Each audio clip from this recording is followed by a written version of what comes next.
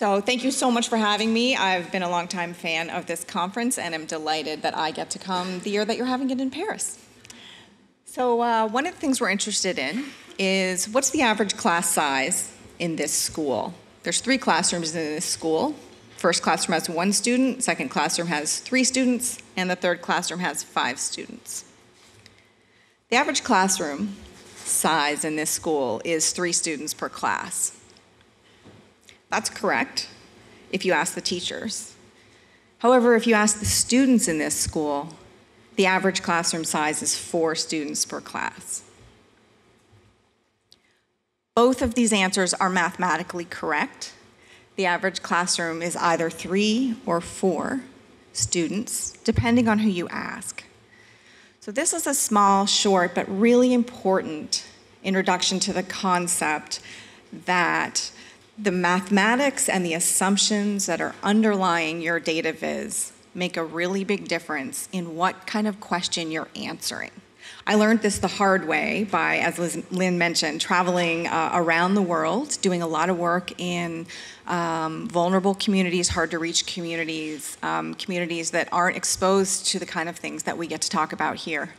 And figuring out that the questions and assumptions that we were making when we were producing research or data analysis or data viz are often not the same questions and assumptions that are being made by people who consume our data if they're not like us. So, what is the average classroom size? It's not a specific enough question. The question you need to ask is what is the classroom size according to whose point of view? This might seem like a little mathematical trick, but it's actually really important. Um, the relationship between average class size and academic performance is used frequently in many contexts. It's used by policymakers, it's used by governments, it's used by data journalists, and uh, it's used by um, everyday people look, trying to decide where to put their kids into school. So here's the relationship between the class size and the academic performance from a teacher's point of view in one school district where I was working. This is the same data, same school district, and this is the relationship between class size and academic performance from the student's point of view. So both of these trends are correct. So it's not true that one of them is correct and one of them is incorrect. They're both correct, but they're answering really different questions. One is saying, what's the relationship between classroom size and academic performance for a student? And the other is saying what's the difference, what's the relationship between academic performance and classroom size for a student. Uh, so I'm going to talk today about a couple of fallacies. And uh, fallacies are often thought of as ways to do things wrong with math or ways to do things wrong with statistics. Um, but really, what I find is that most of the time, when somebody makes a mistake or uses a fallacy in their math, they're answering a question that's different than the question they think they're answering. And oftentimes, the data we have can answer a question that's really, really close to the question that we want to answer. And often we like, emotionally, we like the answer that we get, and so we say, good enough, and we move on. So, I'm going to talk today about a couple of the things that can go wrong when we present data that answers a question that's different. Um, for example, um, people have gone to jail when they should when they were innocent. Uh, people have died. Uh, governments make policies that aren't good for anybody and are not having the intended effect. And everyday citizens are given incorrect information. Uh, we're lucky enough to have, um, as the two speakers before me were talking, um, in the data design community, a really good emerging set of kind of best practices. Things you should and should not do with the design elements of your work to make sure that you're not accidentally misleading people. Uh, and when you're designing data, or telling a story with data, or making a chart with data, we need to work hand in hand and make sure that we are also relying on a set of best practices that prevents us from accidentally lying with the data. It's very easy to have a very well-designed chart that's meeting all the best data viz practices and principles, but accidentally is lying very beautifully. so we're going to take one example. Uh, is smoking cigarettes good for your health? So the horizontal axis is the average cigarette consumption for a country. And the vertical axis is life expectancy for a country. This is real data. We do a very, very basic statistical thing. We do a regression line. And we find out that, yes, indeed, cigarette smoking is highly uh, correlated or connected or has a relationship with uh, life expectancy in a country. In fact, we look at the coefficient and we find out that one extra cigarette adds 0.0069 years to your life. That's confusing. Anybody that tells stories with data knows you can't say that. We do a little bit of transformation. Four cigarettes a day adds 10 years to your life. So this is real data. The math is correct. It is very, very statistically significant. If you're in the tribe of people that cares about p-values, you have a very low one. The problem here is not the math or the data viz, the problem is the title. The title is Smoking Cigarettes Good for Your Health is misleading. The real title is Do countries with higher average cigarette consumptions have longer life expectancies? And the answer is yes. So, what this is called is the ecological fallacy. And this is really where I knew, wish I knew Sean and had the cuter, cuter frogs. um, but so the ecological fallacy is where you try and answer a question using data that has a different level of analysis than the question you're trying to answer. So we were trying to answer a question about individuals. Is an individual's health going to be better or worse if the individual smokes? And the best data we could find was country level data. So in countries where more people smoke, the life expectancy is higher. This is a very, very common problem, it, it, especially in the age of data privacy, unless you're working with the person that owns the data. Um, you are probably working with aggregate data. And then you have to make statements, oh, sorry, you have to make statements about that data at the level that you have the data. Now, a lot of you are probably, it's a very uh, advanced audience here, a lot of you are probably thinking, well, just because smoking is correlated with life expectancy doesn't mean anything. Correlation is not causation. We all know that. Some of us have it tattooed on us. Um, and we're not going to talk about that fallacy today, but there's a lot of other things that are also not causation, more than just correlation. And this is really important um, in the age of machine learning and AI. I know there's a lot of Google and Facebook type folks here. And the tools that work most frequently in AI situations are predictive tools. However, most of the time, if you're working with a policymaker or trying to figure out if your program works or trying to write an interesting data journalism story, you're asking causal questions, not predictive questions, and you need different tools. So let's say there's a relationship between thing X and thing Y, and we want to write a story about that. Um, most of you've probably heard you have to check for additional variables. This is why correlation is not causation. Um, there's lots of other things external to X and Y that can be causing that relationship between X and Y. So, for example, we might have thing Z.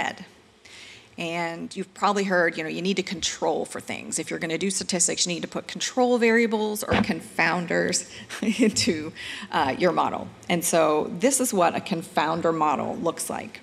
We have thing X and Y that have a relationship, and then we also have uh, thing Z, which is influencing both thing X and thing Y.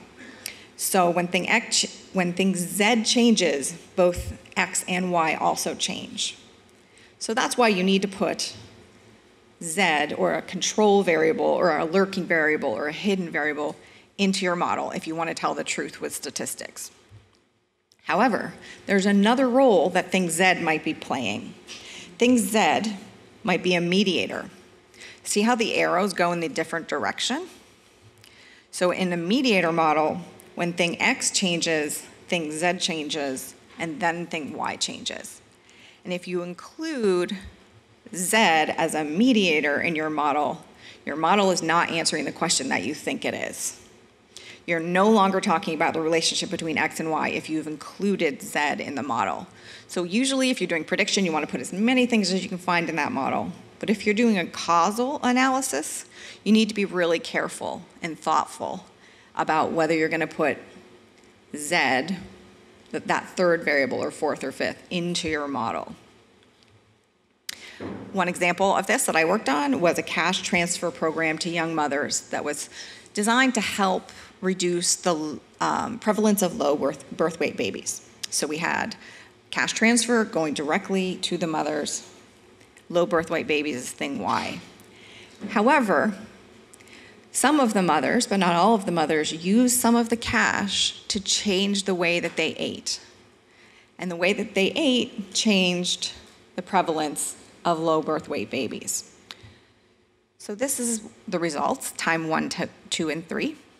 If we tried to see if that project worked with Z in the model. So this is me controlling for the nutrition that the mother ate at all three times. This is whether or not our program worked. This is me not controlling for the change in nutrition, whether or not the program worked. These are them together. And so the top one is answering the question if we don't care about the nutritional changes of the mother, does our program work? And the bottom one, if we um, don't control for the nutritional changes in the mother, does the program work? Again, both of these lines are correct. They just answer really different questions. And they and the answers to the questions are very different, whether or not you're going to fund this program, whether or not you're going to um, design a law that implements this program really, really matters.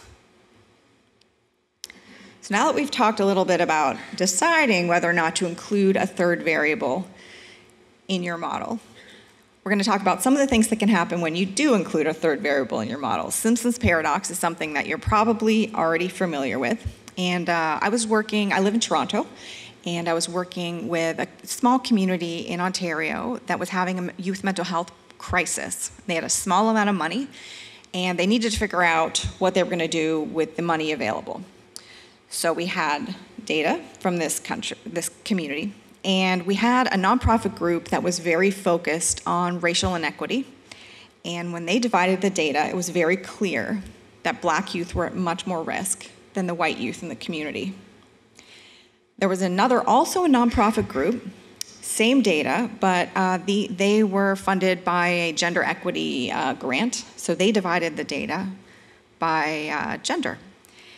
And they found out that the male youth in the same community were much more at risk. Finally, uh, the local government wanted to look at the data by poverty, and they found that it, they found that the youth not in poverty were the most at risk. So we had to figure out what to do with the money. And what we did was we put all the data together in one multivariate model. So we, we looked not just at the youth's uh, skin color or poverty status or gender, but we looked at all three of those things at the same time. And we went from seeing that black children, male children, and children not in poverty were at risk to seeing that it was actually the white males in poverty that were the most at risk in this community. So this is called Simpson's paradox. And um, so we went from black, male, and not poor to white, male, and poor. And again, none of these things are incorrect. They answer different questions. And so Simpson's paradox is an example of the, the variables that you're including in your model are telling your data what to say. We often like to think that we're allowing the data to speak, but mostly we're telling the data what to say by the way we visualize it, by the variables that we do or don't include in the model. And so that's why we have to be really, really specific about what question we're trying to answer. Final thing we'll talk about is called the prosecutor's fallacy. And um,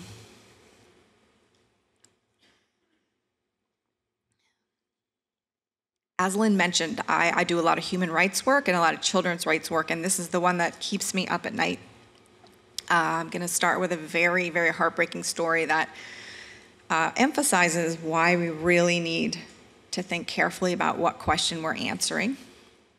Sally Clark uh, is a British woman who had a son born in 1996, and he died when he was eight weeks old. They weren't quite sure why he died. Um, the autopsy was inconclusive.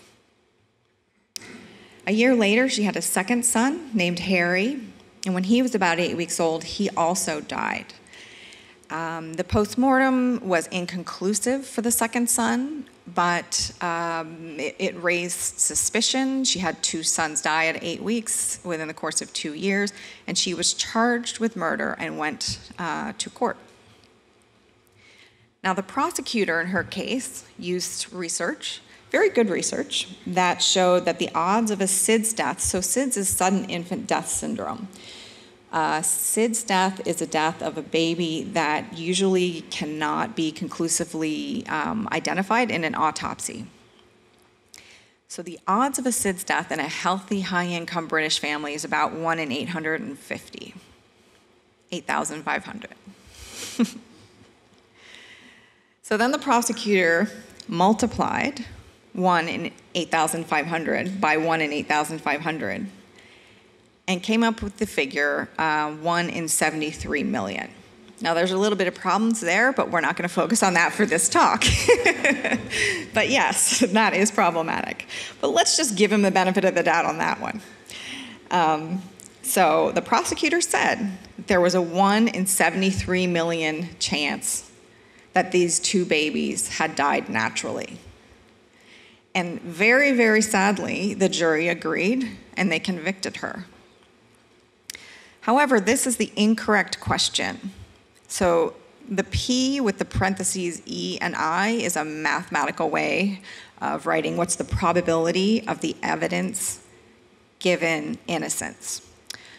So the prosecutor was purporting to answer the question what's the probability that two unexplained deaths would happen to somebody who's innocent? And you can see right away from the bar chart that that's that's not even including the right pieces of the bar chart. That's only including the gray and the red pieces of that bar chart. It leaves off the, the yellow, which is what he actually was trying to talk about, whether she murdered those babies. The correct question is what's the probability of innocence given the evidence? The evidence is the thing we have. There's two unexplained infant deaths. We're trying to figure out what's the probability that Sally Clark is innocent. So there's two types of mothers in this scenario. There's innocent mothers and guilty. And innocent mothers have some babies that die from SIDS and some babies that die from other natural causes. And the guilty mothers, all their babies have all died from murder because that's the definition of, in this instance, the guilt. So to answer this question, we need to take different parts of the colored bar charts and the prosecutor was taking. We need to find the probability of innocence given two infant deaths of an unknown cause. When we do that math, there's a two and three probability that Sally Clark is innocent. So that is a very, very big difference. Um, and of course, there was a great outcry from the mathematical community during the Sally Clark trial, but unfortunately, it took so long to get it retried that um, essentially Sally Clark killed herself. So this, this matters. Um, and it's not just important in courtrooms. I know very few of you are actually um, probably crime reporters or crime visualizers, although it did make, uh, make an appearance both in the O.J. Simpson case. And also, if you're a fan of the podcast Serial, uh, Julie Schneider in there uh, gives us a lovely example of the prosecutor's fallacy when talking about whether or not um, Adnan did it. Um, however, really, what this is an example of conditional probability. Conditional probability is not intuitive. It's it's complicated to work about, with and very complicated to visualize. So, for example, um, if you if you're doing a story about death or working with a government trying to get them to understand the death rates, uh, they're very different results. There just was a, an article uh, in one of the U.S. papers that visualized. Um, given a successful suicide, what is the percent What's the probability that you use a certain method? What's the probability that you used a gun versus poison? However, that was the question on the headline. However, the visualization that they had was given an attempted suicide with a certain method, what was the probability of success? So you're going to get really different answers. And if you're trying to make a policy about uh, violence or gun violence, or if you're a person trying to decide what to do, Those questions are not the same. The probability of A given B is not the probability of B given A. Um, it's also important in the climate change, ecology sector, um, when we're trying to study uh, wetlands. So, a certain percentage of wetlands are dying because of climate change, and we're trying to figure out why. Um, unfortunately, most of the time, the things we can study are the wetlands that are already dead. So, that's a lot like Sally Clark's case, in that we're studying the wetlands that are already dead and trying to figure out what predicts their death. So, we're studying predictors given death which isn't really an answer to the same question of given the predictors, what's the probability of death? But sometimes it's the best. You just have to work with the data you have, make the assumptions that you have to make. And when you're communicating it, make sure that you say, This is the question that I'm answering. Um, in health, again, the chances of having a heart attack given high cholesterol are not the same as high cholesterol given a heart attack but it's a lot easier to study the second of those things than it is the first. And if you're translating science for the public, which I know uh, it, we're fantastic, data visualizers spend a lot of time translating science for public consumption or for policymaker consumption. Um, scientists are usually very careful in their peer-reviewed journal articles, which you know take a long time to read and can't effectively be communicated in many instances. They're very careful to couch their findings in a lot of scientific caveats, which are easy to lose when you need to make a headline that somebody's going to click on. Uh, and so these are some examples of why those scientific caveats really do matter. And you can't just say, this question is close enough to the other questions, because you're going to accidentally be telling a lie, which I have learned the hard way many times. So I've talked about four key fallacies and how they answer slightly different questions. So the ecological fallacy uh, answers a question about a different level of the population than, than the data that you have. The causal fallacy in, includes variables that probably shouldn't be included. If it's a mediator, you should not include it unless you're going to be very specific about the fact that you included a mediator. Including or excluding variables changes the question, fundamentally changes the question that you're answering. Simpson's paradox is once you've decided to include three or four or five different variables, you need to be very careful and take some time to look through how your results change when you put some of those variables in or out because the changes can be dramatic and hidden.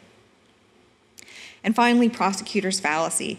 If you're going to use conditional probability, maybe do it a couple of times and write the story or do the viz a couple of times because conditional probability is confusing and not intuitive. Um, but it's important that you condition on the item that you have the evidence about, in a sense, given evidence.